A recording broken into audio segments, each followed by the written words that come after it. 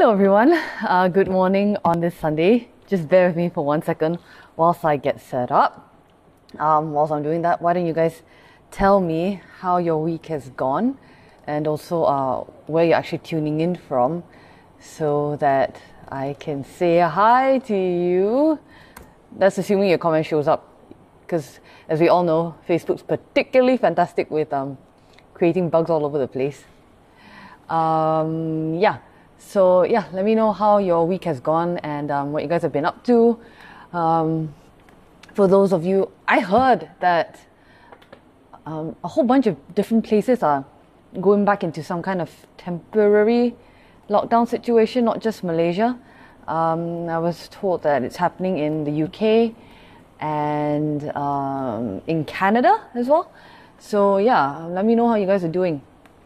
Um, so we just finished the first week of the CMCO. I'm, get, I'm losing track of all the acronyms, but um, we're yeah we just finished the first first week of the CMCO in Malaysia.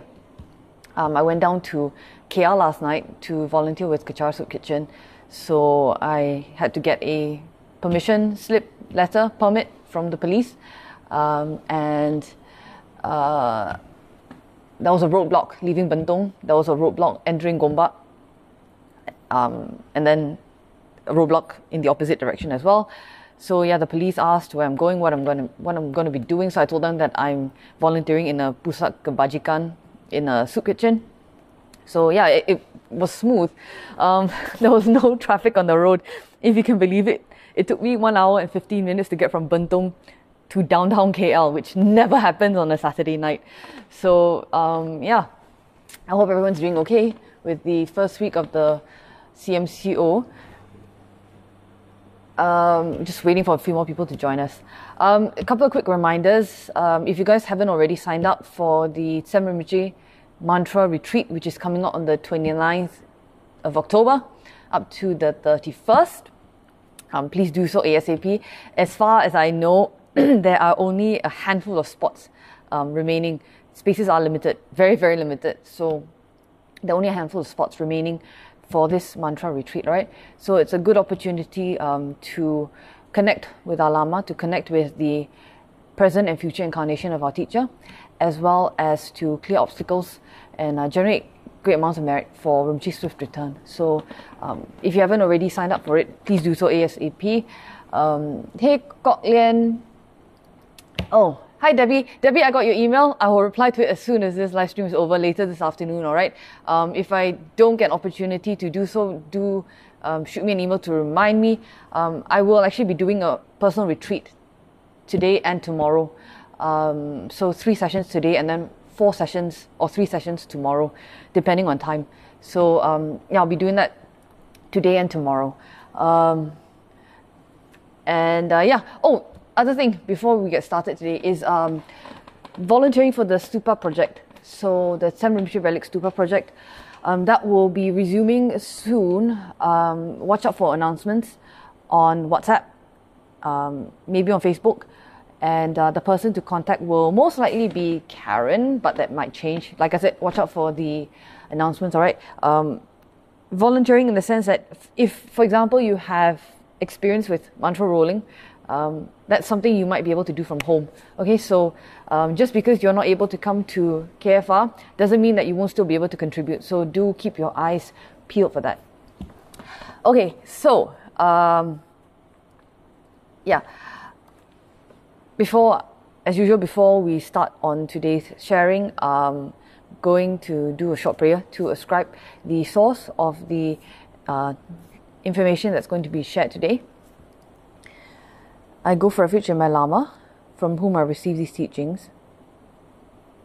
I go for refuge in the lineage Lamas, from whom my Lamas receive these teachings.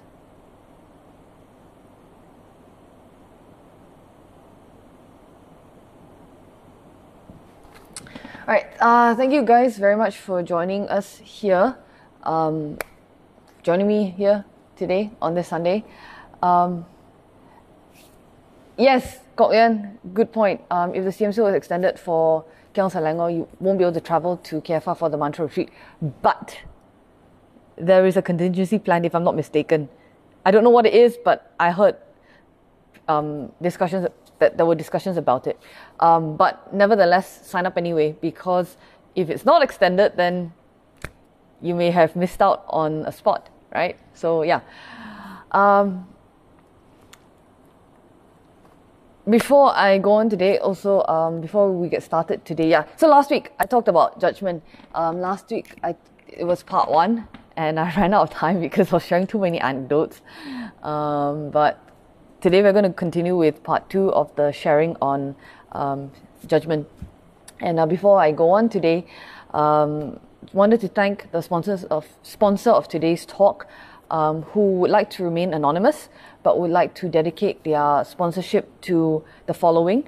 Uh, may obstacles be cleared so that His Eminence, the 25th Tsem Rinpoche students, uh, can swiftly find the incarnation.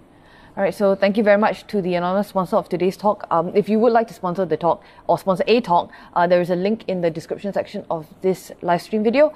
So um, please click on it because like I say every week, uh, your support does help us to keep making these programs available for everyone. And if the CMCO, you know, continues, then face to face, in person uh, courses may no longer be possible. Um, so we will need to continue to do this online. All right. Um, yeah. So let's do a quick recap um, of what I talked about last week. I say quick but um, as we all know, our retention isn't particularly fantastic, and um, sometimes we remember and don't practice. Sometimes we practice without remembering. I don't know how that's possible, but uh, let's do a recap of what I talked about last week. Um, so yeah, uh, last week I talked about why one of the reasons, well, the reason why I wanted to talk about judgment or sitting in judgment, um, because it's a topic judgment is a topic that I had raised in previous weeks, um, especially in relation to sharings on things like uh, disappointment, how to deal with disappointment, or um, how to deal with guilt, how to deal with regret. So, um, oftentimes when we experience those feelings, we judge ourselves as being bad, or we judge those reactions as being bad, and um, it's automatic, it's natural um, for us to feel or think that way, um, or to react that way. And we are then, on top of that, told that it's bad to be judgmental, which in itself is a judgment. And so it then compounds and then it adds to feelings of guilt or regret or disappointment or whatever else that we're feeling at the time. All right, so um, there are all of these qualities like regret, um, like bitterness, jealousy, envy, and so on, um, that we would like to get rid of as quickly as possible and uh, to stop and acting as quickly as possible. Um, and then we are led,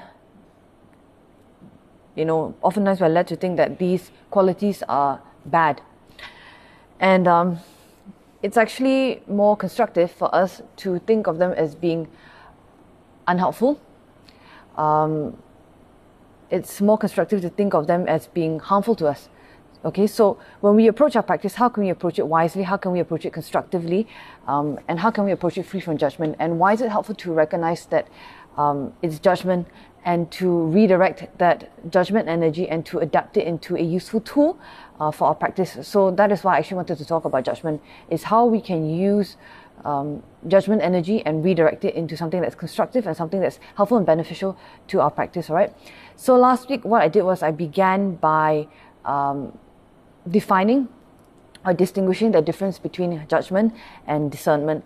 And um, if you guys remember, bonus points if you do, um, if you guys remember, I talked about how discernment is judgment that's f- uh, free from any additional uh, actions. So judgment is literally, uh, sorry, discernment is literally perceiving things as the way that they are, and it stops there. So um, discernment is the perception, is perception actually um, that's in the absence of judgment. All right. Good morning, Xiao Li. Thank you for joining us this morning. All right. So um, discernment is perception in the absence of judgment, and it that's it. It doesn't move beyond that. Judgment, on the other hand, is um, when we have expectations or we have preferences for a situation or for a particular event, and um, these preferences are projected, and it's in addition to discernment. So when we judge whether we're judging directly or indirectly, or whether we're judging um, inexplic- inexplicably, or explicably, or explicitly or inexplicitly, um, we are making a comparison between how things are with the way we feel things ought to be, or the way that we feel things are supposed to be. So when we engage in judging, there is actually an element of dissatisfaction, and um, the dissatisfaction is with the way that things are, and um, it's with our desire. There's an additional component of a desire for wanting to have things a certain way, and then this desire not being met. All right, so the example that I gave last week. Ah, no problem, Joyce. Still, un- can still understand your comment. So the example I gave last week um, to help people to understand the difference between judgment and discernment is a judgment is like someone who's sitting in court and giving a final pronouncement on or giving a final verdict on someone being guilty or someone being innocent. Discernment, on the other hand, is um, like a music teacher. So our music teacher observing um, our playing and then our music teacher giving us feedback on what it is that we can improve. And this feedback isn't personal, it isn't on the person, but rather this and it's not also it's not on the person's ability or the person's potential as a musician but the feedback is on how we can improve. All right? So the teacher focuses on our actions and uh, focuses on helping us to look for ways for us to become better for us to improve. All right? Um, i also gave the example of you know um, having a friend who is very talkative or having a friend who um, eats a lot or having a friend who spends a lot of money. So judgment would be, well, Thomas spends so much money. And when you say it with that tone or you think it with that tone, it's with the expectation that Thomas shouldn't spend so much money, that Thomas should be more thrifty, that Thomas should be should save more, that Thomas um, shouldn't yeah spend so much money. On the other hand, if you are discerning something, it's a neutral statement. It's a, it's a neutral thought. It's without any bias or without any preference or without any sense of dissatisfaction about what Thomas ought to do or what Thomas ought not to do or what Thomas is supposed to do or what he's not supposed to do. So if you say Thomas spends so much money and it's said or it's thought with a neutral tone, that's discernment. It's an observation or description of what is happening or an observation or description of an event. All right, so um, then last week I also talked about the three truths um, that were taught by Buddha Shakyamuni um, about why um, we are not necessarily in position to judge. Uh, the first truth was that um, we're not in a position to judge because we can't trust ourselves to see through our delusions on our own. And because we can't trust ourselves to see through our delusions on our own, um, it is very good for us to have a trustworthy friend, which is what Buddha Shakyamuni recommended to his son Rahula. Um, that he should look at his own mind as if he were looking in a mirror, and that when he observes certain things, that he should talk about it and discuss it with a trustworthy friend. So last week I brought up that example, brought up that truth, and also talked about how um, we should have a certain kind of attitude or hold a certain kind of approach when we're discussing with a trustworthy friend. And the importance of this approach is such that it's even mentioned in the vows. So in the vows, it talks about how uh, you should make yourself someone who can be addressed, and you should not make yourself someone who cannot be addressed. So um, being open with feedback and being open with um, criticism, even if it's delivered, whether it's delivered harshly or whether it's delivered softly, being open to that feedback. All right. Um, that was the first truth of uh, that I talked about last week. The second truth that I talked about last week was that we actually do need to be careful um, who we consider a trustworthy friend, and that we should aim to be neither judgmental nor non-judgmental. So. Um, the reason why we need to be careful about who we trust is because our judgment actually does have power. Because depending on who we select as a trustworthy friend, it can have a long-term impact. Whether it's somebody who is um,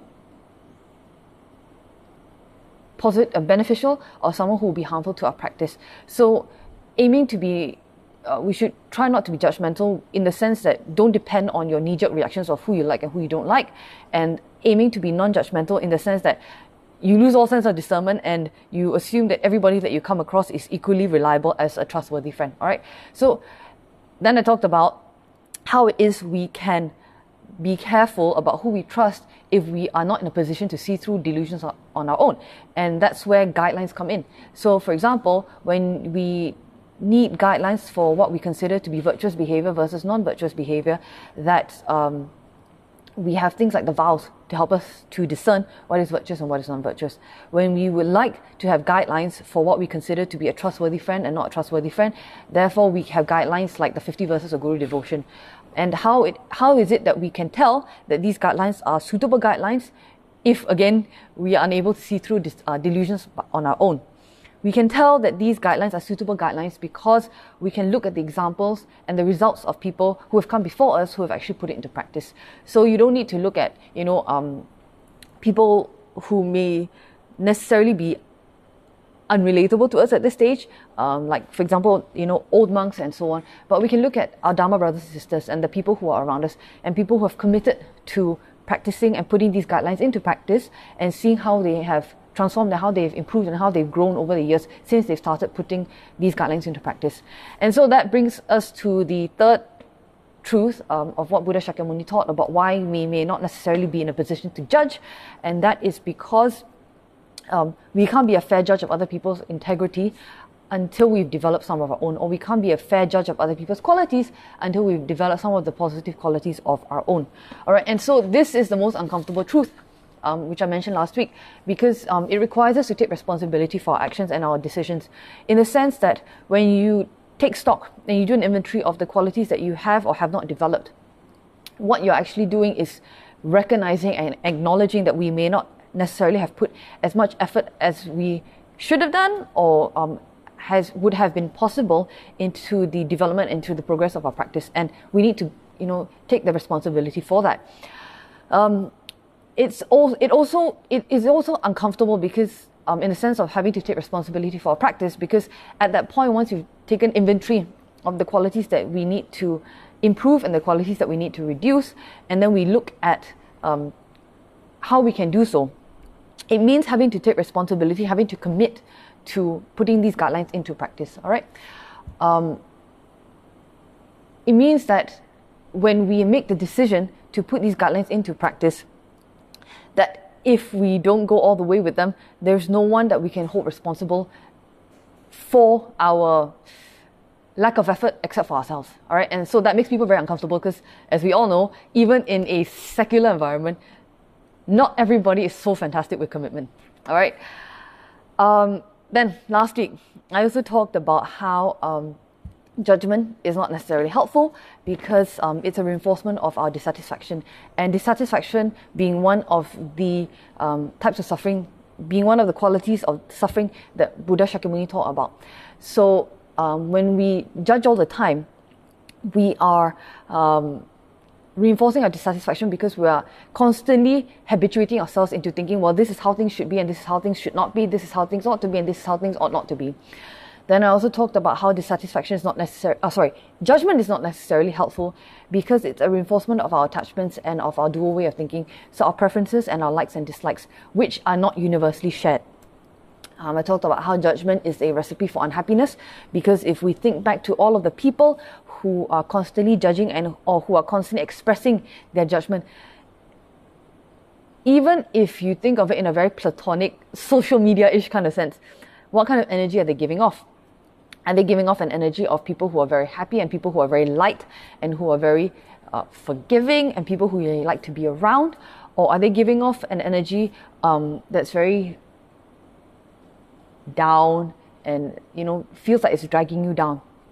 So even when you judge, I asked you, I asked you guys last week to think. Even when you judge, how do you feel? You may have the temporary satisfaction at the moment of judging, where you feel like, oh yeah, you know, I'm in the right. But after that, how do you feel? Do you feel great about having judged someone, or do you not necessarily feel that fantastic? All right. So um, judgment I spoke about last week is not necessarily helpful because it's a recipe for unhappiness. And then linked to that, judgment also is not necessarily helpful because it's a recipe for loneliness.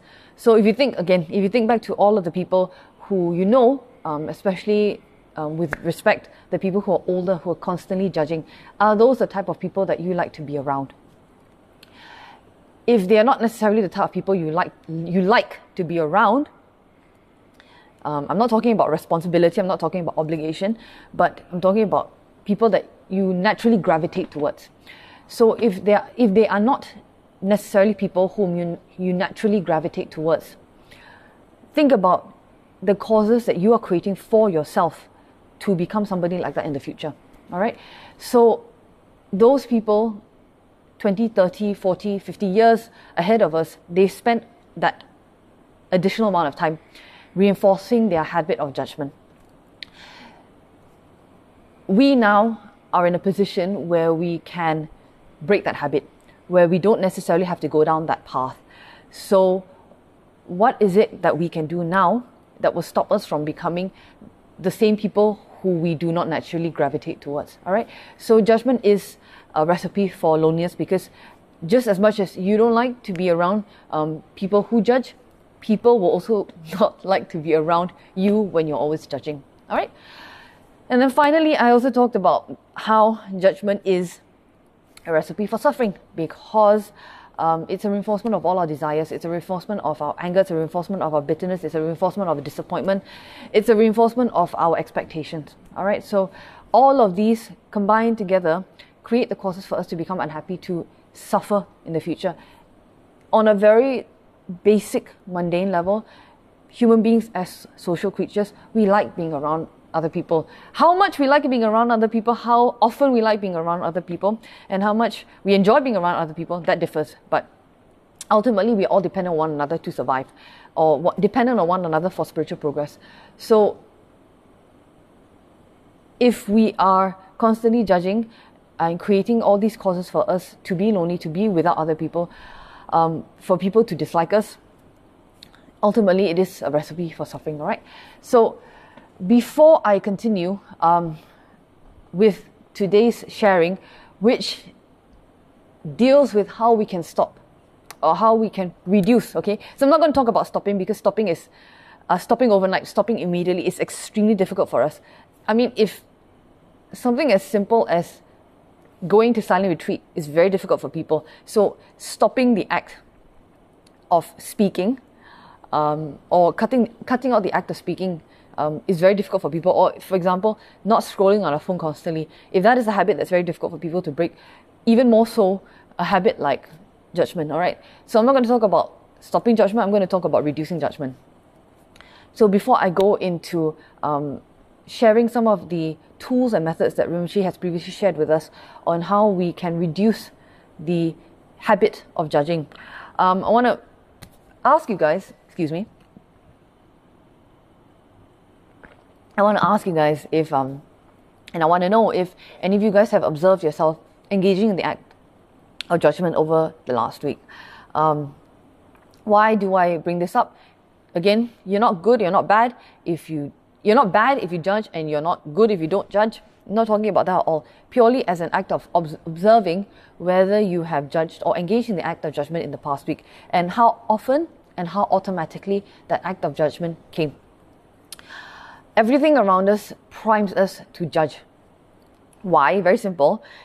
Because sales relies on us engaging in judgment. Advertising and marketing relies on us engaging in judgment.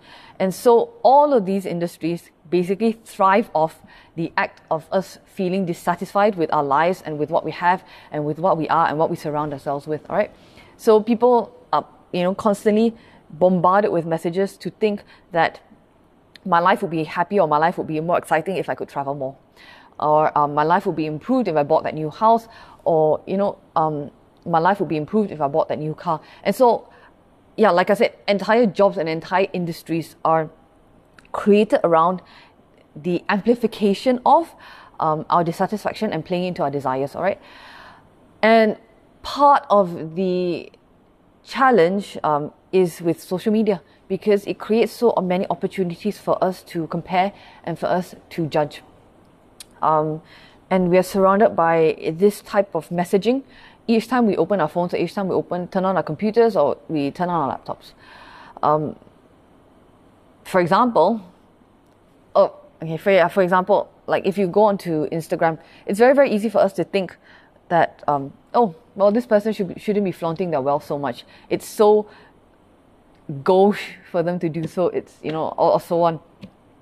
um, or this person shouldn't have shared their opinion, that person shouldn't have shared their personal experience, it's too personal, why are they doing it, it's not right, it's not appropriate, that person shouldn't have uploaded that picture, it's not good for them to do so, or that person shouldn't be wearing that. So everything we see, everything that we surround ourselves with um, these days, and everything that we are surrounded by these days primes us and encourages us to engage in the act of judgment. All right. So, what I want to say is that if you have judged in the last week, if you have engaged in the act of judgment in the last week, you're not special, you are not unique, you are not bad. All right. Um, but think back in the last week, a particular moment or specific instance that you can recall during which you, you engaged in the act of judgment and think how many times do we engage in that behavior and how automatically and how unconsciously and with such a lack of awareness did we engage in that act of judgment. All right, so since the world, ah, good morning, Aggie. Thank you for joining us this morning. Um, yeah, so since we, since the world primes us to engage in the act of judgment, how can we reduce this habit? As I have brought up in previous weeks. Um, the first thing to do, the very first thing to do, is to take a breath. And I know it sounds very simplistic, and I know it sounds very reductionist, but it is a very, very, very helpful tool for us to break the habit of automatically reacting towards something or automat or engaging in some kind of knee-jerk reaction towards something. So as they say, if you're about to respond in anger to somebody else, stop, take a deep breath, take a moment, and then react.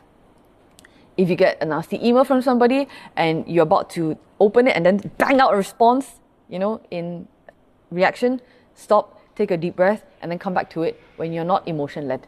So the same thing with judgment. When you feel yourself falling into the act of or into the habit of judging again, stop and take a breath. How do you know that you're going to fall into the habit of engaging in judgment? Meditation.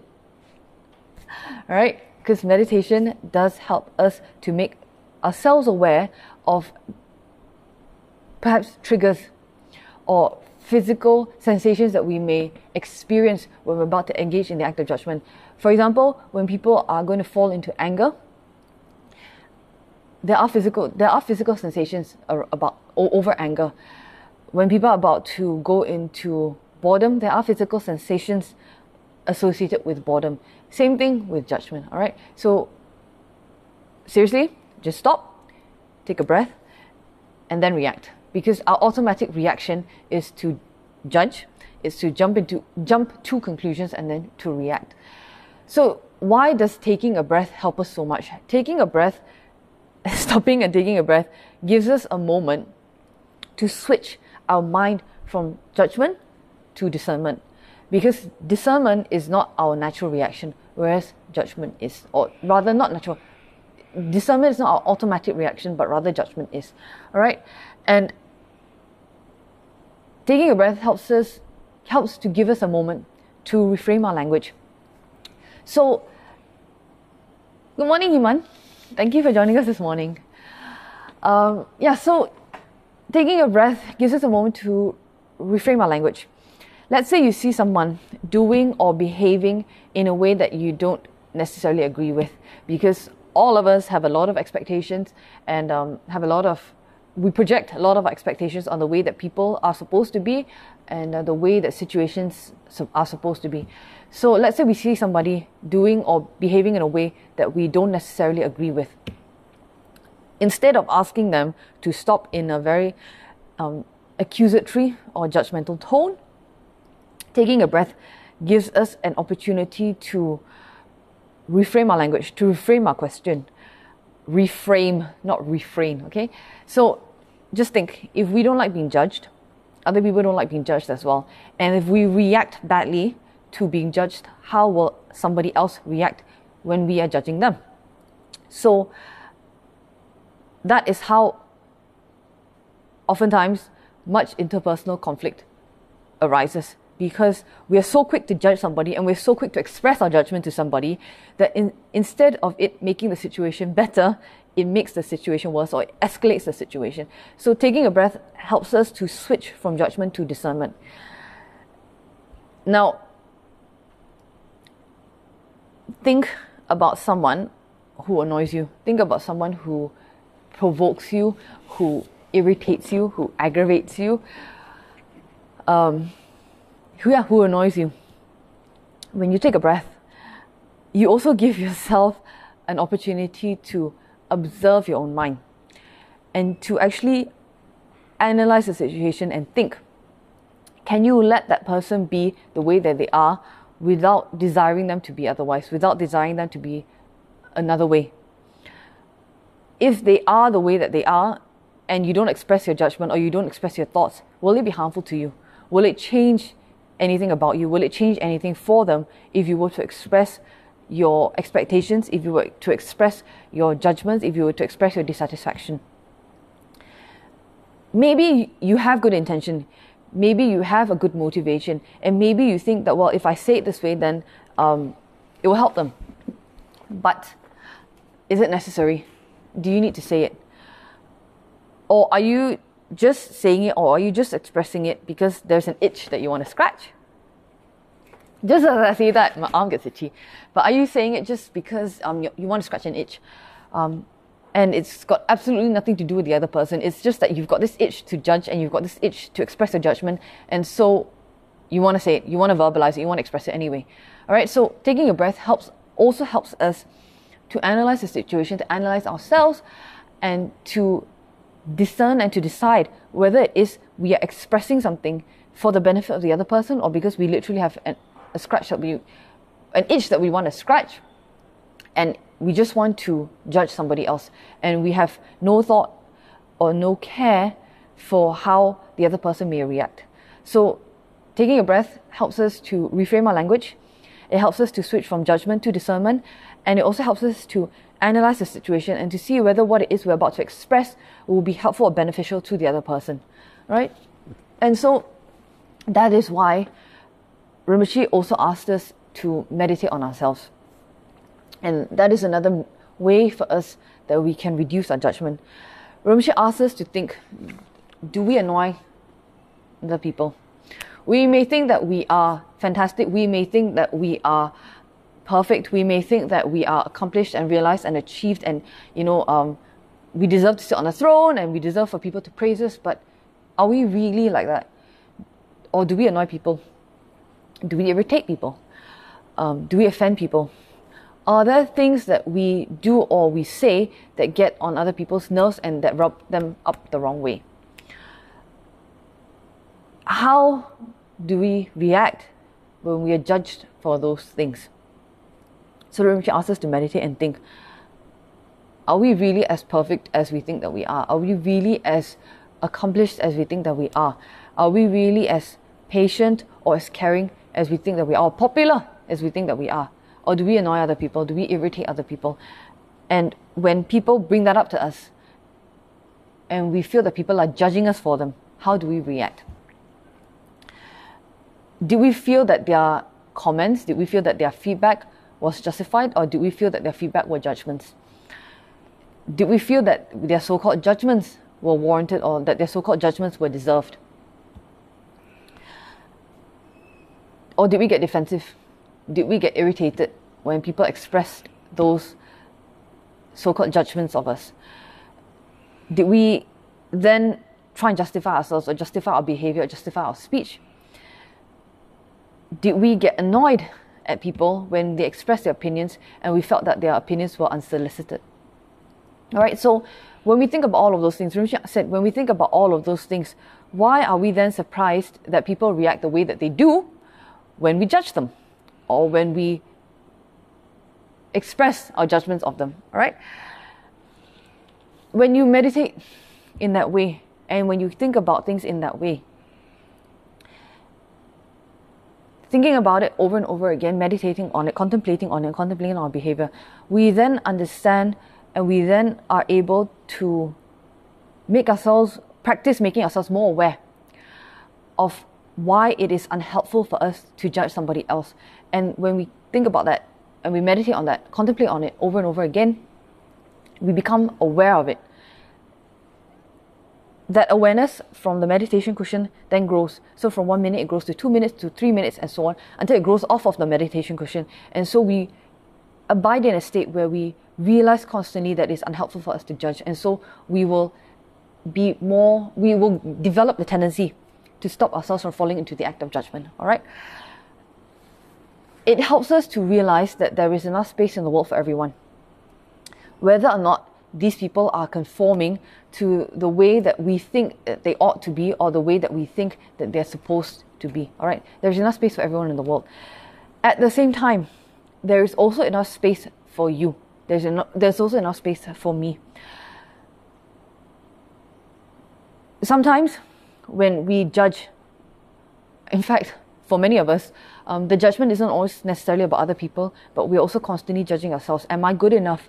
Have I done enough? Do I move fast enough? Do I think quick enough? Do I speak quickly enough? Do I react fast enough? Did I make the correct decision? Am I doing the best I can for my family? So, for many of us, the judgment isn't necessarily always directed to the outside world, but it's also direct, directed internally to ourselves. So, what, what I want to say, what I want to share, what I want to remind us is that just as much as there is space in the world for everyone, regardless of how we think they should be, how we think that they're supposed to be, there is also enough space in the world for us. We are not bad people. You are not a bad person. You are not an evil person. You are, like so many of the rest of us, somebody, a sentient being on this earth who has qualities to work on and who has qualities to improve. So, remember that and realize that there is enough space in this world for you and that you are not a bad person and that you're not an evil person just because you are sometimes angersome, just because sometimes you have pride, just because sometimes you get jealous, just because sometimes you are disappointed. All right? So yes, that's that's one of the reasons why Rinpoche asked us to meditate on ourselves was because when we meditate on ourselves and we meditate on um, how we are and we meditate on the fact that actually just like everyone else we do have qualities that we need to improve on, then we realize that we are worthy then we realize that there is space in this world for us. Then we realize that we're not bad people, we're not evil people, and that we're not necessarily unique in the so called embarrassing qualities that we continue to have or that we continue to engage in. All right? So, the thing, the thing, oh, sorry. The thing about thinking about um, that people are supposed to be a certain way is that it leads us to suffering because people are not fixed and people are always changing. So, over and above, or in addition, rather, in addition to meditating on ourselves and meditating on our judgments and meditating on um, and realizing that there's space in this world for everyone. Rinpoche also asks us to meditate on impermanence. What's not permanent? What is not permanent is our likes and our dislikes. What is not permanent are our preferences. What is not permanent are our expectations because all of these things change as we grow, as we get older, as we get more information, as we gain more experiences, as we go through more in life. What you like and what you don't like now is very, very different to what you like and did not like one year ago or what you liked and did not like when you were a child. When I was growing up, I hated tomatoes absolutely hated tomatoes. I know it's a very rudimentary example, but even for f- things as simple as food, right? There are I there, there are things that we absolutely detest and things that we like. I hated tomatoes for many many years, even ketchup, hated it. And then one day, out of nowhere, suddenly I really really liked it. It was winter in England, not the season for tomatoes, but suddenly I really really liked tomatoes. And so overnight, my preference changed from no tomatoes to yes tomatoes. Again, rudimentary example, but there are things that change in terms of our preferences, in terms of our expectations as we grow, as we develop, as we experience more. How you what expectations you have for a relationship, for example, when you are 13 or 14 or 15 or 16, are very, very different to the expectations that you have for a relationship now. All right. So, all of us have many examples in our life that can show that um, our likes and our dislikes, our preferences and expectations are not permanent. These things change as we get older, these things change as we learn more, and these things change as we gain more experience. What is also not permanent are situations. What is also not permanent are other people. The situations change, the situations that we're judging change, and the people that we're judging change. People's decisions, people's speech, people's knowledge and people's experience and so on. These things change as they get older. These things change as they learn more, as they gain more experience. So, why is it that we are judging or casting judgment on other people based off of something that's not permanent on something that is not permanent? Why is it that we are creating negative feeling? Why is it that we're creating negative relationships? And why is it that we're creating um, negative karma off of an impermanent quality onto an impermanent quality or onto an impermanent aspect or situation.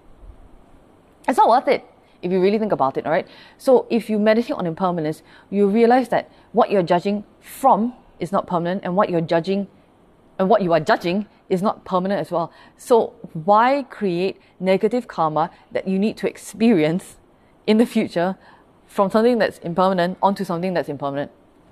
it's not constructive, it's not useful, it's not helpful. We already have enough negative karma, we already have enough karma from countless previous lives to deal with. We don't need to be engaging in actions that create even more. Alright? So what Rinpoche asks us to do and what Rinpoche asks us to think about and meditate on impermanence is because it helps us to separate somebody's um, personality and qualities from their actions. It helps us to separate a person from their actions and when we can do that, then we tend to be more forgiving, we tend to be more accepting, and we will realize and understand that what the person is saying, what the person is thinking, is not who they really are.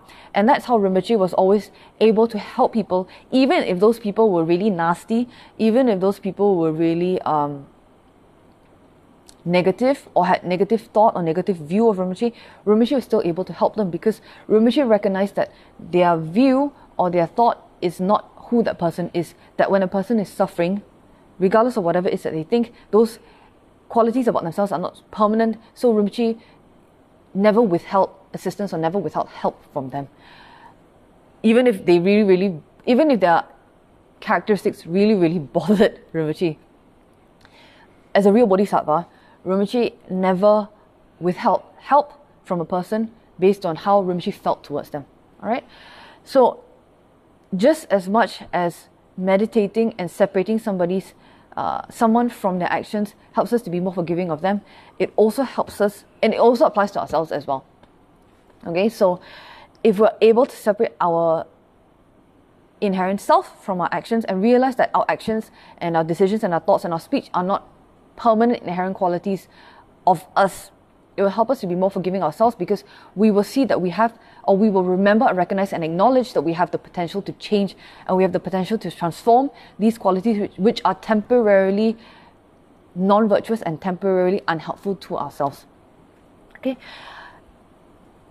When you're also more forgiving of ourselves, then there are other benefits to that as well. For example, becoming more willing to admit our mistakes to others, becoming more willing to admit that we were wrong to other people, and so on. All right, so don't really have time for it because I'm not going to get into that because I'm going to try and finish on time today. Okay, um, but it will help us to be less defensive when people point out things about ourselves to us, and that will help to create better interpersonal relationships and interactions with other people. All right. Um, another method, another tool that Rinpoche shared with us for guiding us in practicing to reduce our habit of judgment is by maintaining equanimity. So, judgment is us making a decision based on what we like and what we don't like, based on our preferences and based on our expectations. Um, it's us making a decision um, based on what we can gain from something or from someone and what we won't gain from something or from someone. Okay, what irritates us and what doesn't irritate us. Excuse me. So, the antidote to that is maintaining equanimity. What equanimity in practice means is walking the path between attraction and aversion, um, between it's it's walking the path between our likes and our dislikes. It's walking the path between um, praise and blame, um, and doing this without attachment to one side or the other, or without bias one side to the other. I Joyce, it's no problem. You know what? In fact, if you are really that tired, it's fine. You should go and rest. It's okay. This this video will be on afterwards, so you can watch it later, right? Um, it's fine. Go, go to go to sleep if you're tired. Okay. Um, yeah. So maintaining equanimity is a antidote to, or it's it's a tool for us to reduce our habit of judgment, because judgment is us making decisions based on our attraction and what we're averse to. And so equanimity is the antidote to that. Now, one thing, one um, yeah, one one one tool or one situation that Rinpoche very often um, raised with us or taught us was um, a situation that we can use to practice um, reducing our habit of judgment is looking at things or looking at messages free from the tone with which it is delivered. So when someone comes and gives you feedback or when someone comes and gives you criticism, look at the content and look at the message and try to divest yourself of the tone. Try to separate the tone from that. Look at it as information which is beneficial or which is useful or not. Um, and then try to work out somebody's motivation or intent the reason why Rinpoche very often use this as an example for us to practice reducing the habit of judgment is because very often we make decisions based on how people deliver it. And if you think back to last week or the week before or whenever, how often have we said or made a decision based off of how someone delivered something? So, ah, yeah, I don't want to help that person because of the way they said that or I'm not going to go to them because um, of the way they spoke to me last time, or I'm not going to do that because I didn't like the way that they told me. Okay, so very often we find ourselves in situations where we make decisions based off how based off of how somebody delivered something. Personal example, there is someone that I know that I see very, very often that to this day, when they deliver things, I find to be particularly jarring. They will express their thought, they will express their solution to a problem, they will express their feedback or they'll express information in a way that sounds extremely judgmental or sounds extremely um, final and or very very cutting. Now i know this person and i know this person has very good motivation and very good intent.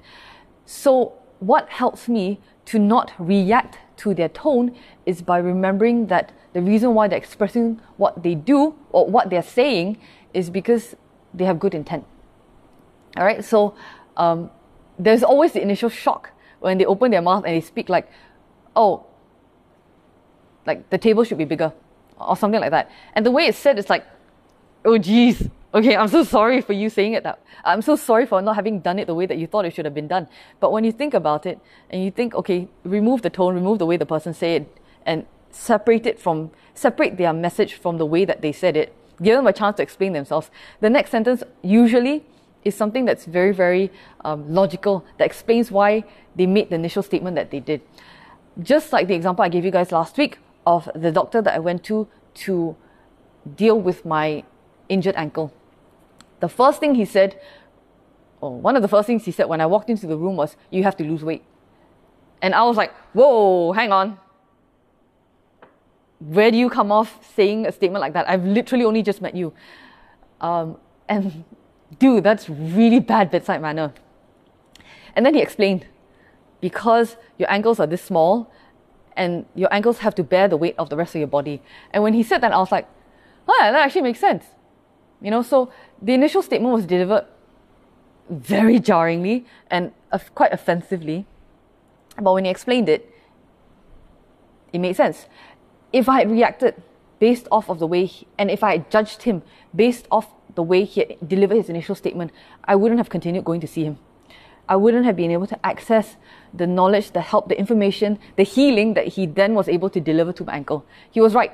I did need to lose weight because it would have helped my ankle to heal faster. He was right. But if I had judged him based off of his initial tone, I wouldn't have been able to benefit from his knowledge. All right, so maintaining equanimity is not an easy practice because, like I said, our automatic natural reaction is to judge. But taking a breath, stopping before we react will help us to practice practice maintaining equanimity. Without us being jerked this way or that way, reacting this way or that way. All right, we are more in control of our reactions. So, one practice that we can do, that we can all do on a day to day basis, and you will find once I've brought this up, you will find that there are many, many examples in front of you. That one way we can practice maintaining equanimity is by separating information and content in somebody's message from the tone with which they delivered it. All right, so um, when we are able to maintain equanimity, it also helps us to deliver just as much as it helps us to receive a message from someone independent of the tone with which they delivered it. It also helps us to deliver a message without making it about another person. So, how many times have we delivered a message and resulted in a situation escalating because we made the message personal and we made the, pes- the message about the person when it wasn't meant to be? So, going back to uh, the recap that I gave at the beginning of the sharing, the difference between judgment and discernment. Judgment is us expressing our dissatisfaction with something, um, thinking that it should be a certain way or it ought to be a certain way. Discernment is a music teacher giving us feedback on how we can improve our skills or how we can improve our abilities or how we can reach our potential without making it about the other person, right? So when we maintain equanimity, we are better able to deliver a message to somebody more effectively so that we can accomplish what it is that we want without offending the other person. All right, so what would you respond better to? A teacher who says, okay, you can improve if you practice on this particular aspect, versus a teacher who says, you're so stupid, how come you don't understand? If you think that I'm joking, you know, about a teacher saying you're so stupid, you don't understand, I will tell you that when I was in sixth grade, year six, primary six, my maths teacher pulled me to the front of class, showed me off to everyone, and said, Everyone, this is what a stupid person looks like. Because I didn't know how to do um, some, I didn't know how to do or solve some of the problems that were in front of me. And that one statement made me dislike maths for like the next five years. Okay. So, yes, there are people who are not able to deliver a message um, particularly effectively. But when we are able to practice and we're able to maintain equanimity, we're able to deliver a message to somebody else um, that focuses on the action rather than making it personal to the person. All right. Making something personal is counterproductive because we never know what somebody is going through. We don't know why somebody is behaving or speaking or thinking the way that they are because we don't know everything that, about them. We don't know everything that's happening in their lives. Maybe someone has walked into the office that day and they are very short tempered. Maybe they're very snappy. Maybe they are being very bossy and giving orders here and there. And then we judge them for it. Oh, that person's always so bossy. That person's always like that. But maybe that person walked in the way that they did that day because they had an argument with their partner before coming into work that day so maybe their mood is down. Maybe that's why they're short, so short tempered at work. Maybe they had plans for something that night and the plans fell through and the plans were something that they were really looking forward to. Maybe their parents very sick, their parents very ill, and so their mind is worried and focused on their parent and not focused on being civil or being polite at work. And so that's why they're so short tempered. All right. So reacting to their mood, reacting to their action, reacting to their behavior, their speech, and judging them for it won't be helpful for the situation. And so that's why judgment is not helpful. Because judgment doesn't allow us to have compassion for somebody else. And so, since judgment prevents us from having compassion for someone else, the antidote to judgment or a way that we can reduce judgment is by generating compassion for people. When we pray every day to be of benefit to all mother sentient beings, does our prayer come with caveats? Does our prayer come with terms and conditions? I'll benefit this person if they stop being like that. I will help that person if they stop speaking to me that way.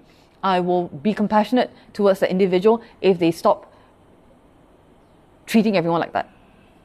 So when we pray, may all sentient beings be free of suffering and the causes of suffering, does our prayer come with caveats or does our prayer encompass everyone, regardless of who they are, what they're doing, what they can do for us and their relationship with us?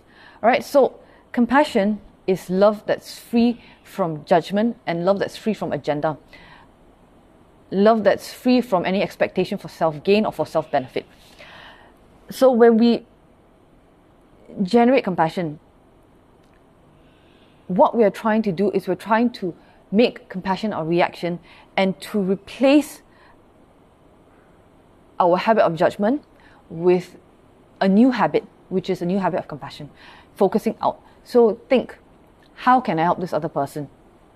And try to hold that thought, regardless of how you feel about them, um, regardless of what they've done to you, or regardless of what they can do um, for you, and so on. All right.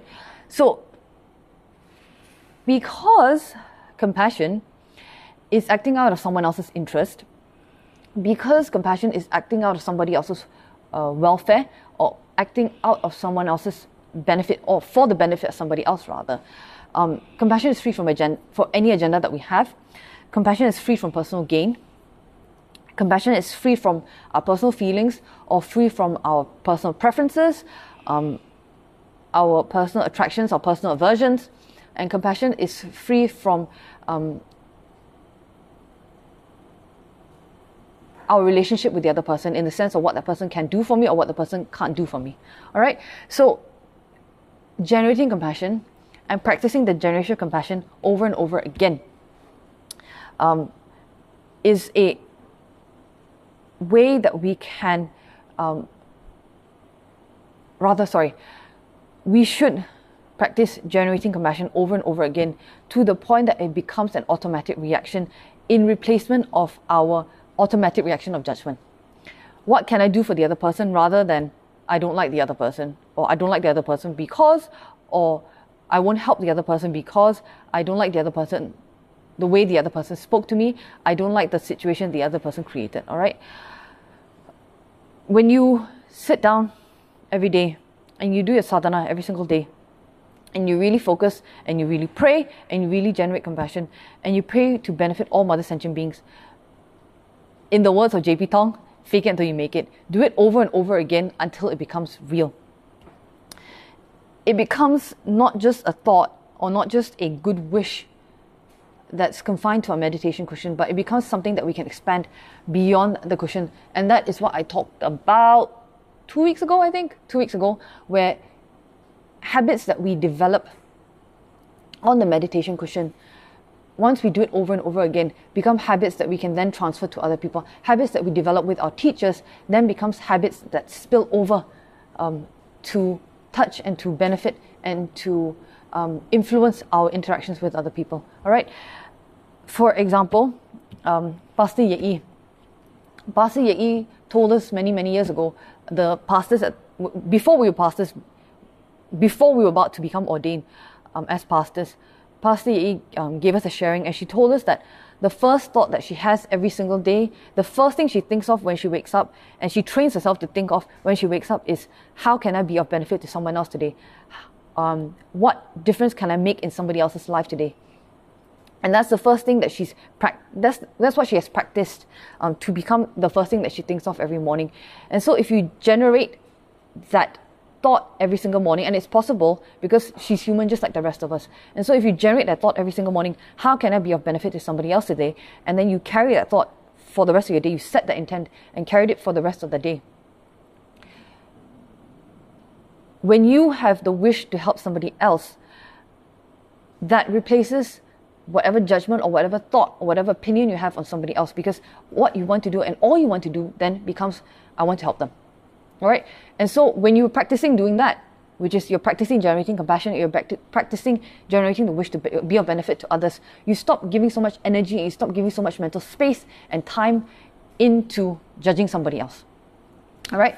So remember that a person may be behaving a certain way or speaking in a certain way or interacting in a certain way because they're going through something in their lives um, or they've gone through something previously and um, now this is the result that we have all right so generate compassion for them generate compassion for any previous experiences or any previous traumas or any previous situations that they may have gone through or found themselves in instead of judging them for being the way that they are the way that you are now is the result of experiences, the result of decisions and actions that you've made and taken previously. All right. So just as much as you don't like to judge some, you don't like to be judged.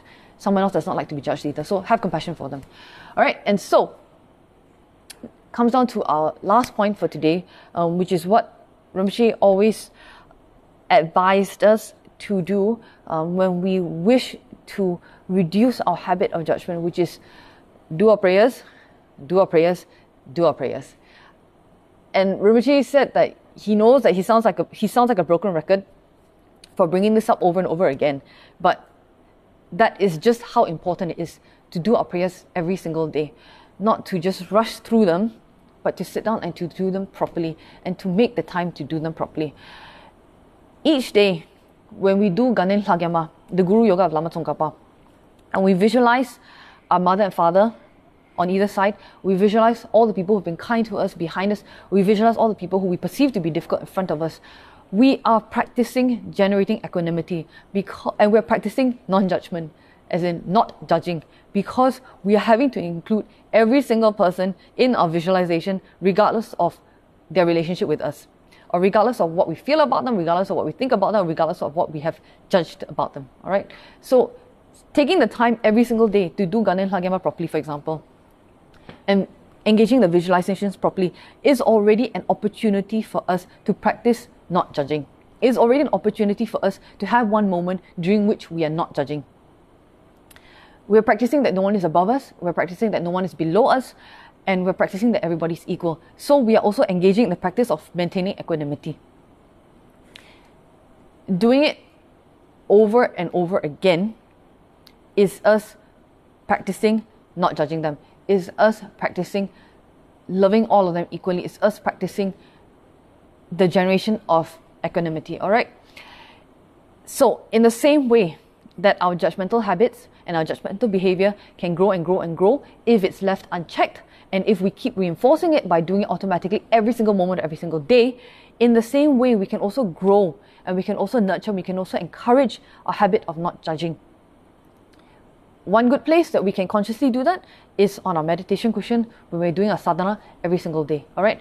Look at people who do their prayers regularly and who do up their prayers well and who engage in the visualizations and they do their practice because they want to develop attainments, not because they want to look good, not because they're doing it out of fear, not because they want to be praised for doing their sadhana regularly or whatever. But look at people who do their sadhana, who do their prayers and do their practices because they want to gain attainments. Look at how they improve and see how they change over the years. All right? That should tell you all that you need to do, uh, all that you need to know about the power of prayer, about the benefit of doing our practices consistently. All right? So, that concludes for today yes, one hour 30 or one hour three minutes. Um, but if you guys have any questions, please feel free to leave me a comment um, in this live stream and I will respond to it either in the comment section or in next week's live stream. Um, again, take some time out now after this stream to meditate on the last week, since the last sharing, since part one of the sharing on judgment, have we engaged in any acts of judgment? Have we engaged in any behaviors of judgment? Um, Lian shared earlier. Um, I've judged in many occasions over the week. I think the challenge is we must be mindful that we have judged and decisions that we make should not be influenced by the judgment. It's challenging, but we should be on the journey. I completely agree. All right.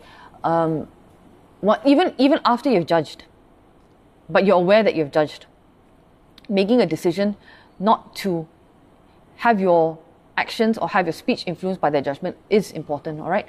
So reflect on the last week because there are many opportunities online, especially to engage in the habit of judgment. Reflect on instances during which you have judged. Did you allow your judgment to influence your decisions or to influence your actions, as Scotland shared? Or did you not?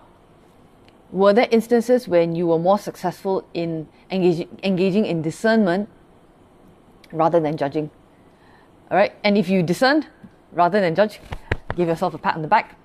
And then as you move into this week, try, set yourself the intention that this week I will judge less and I will discern more. If that is something that's very difficult to do, then what we can also do is I've set the intent that for this week, when I feel myself falling into judgment, I'll stop, I'll take a breath before I judge something. All right? So, quick reminders for what is happening today, this week. Um, tonight, again, on the Chinese Kechara Facebook fan page, there is the Dorje Shugden um, Sadhana at 10 p.m. Uh, with Pastor Shin. So if you guys have any requests for prayers or offerings to be made, um, you can leave a comment at the bottom of this live stream or you can leave a message on the Chinese Kechara Facebook fan page, all right? Um, on Tuesday at 9.30, there's Easy Dharma for the New Normal with Pastor David. Oh gosh, excuse me. That's on the on the Kechara Facebook fan page. And then on Thursday at 8 p.m. on the Kecharians and Friends Facebook group, there is the Tsem Rinpoche Swift Return Puja. All right. Um, and then again, don't forget to sign up for the Tsem Rinpoche Mantra Retreat, which is coming out on the 29th of October. Thank you guys so much for joining me today. I think it's like week 21. And thanks to my trauma of sixth grade math, I can't tell, I can't quickly calculate how many months it's been. You know, how many, how many months 21 weeks is, but whatever. Anyway, um, thank you so much for joining me today.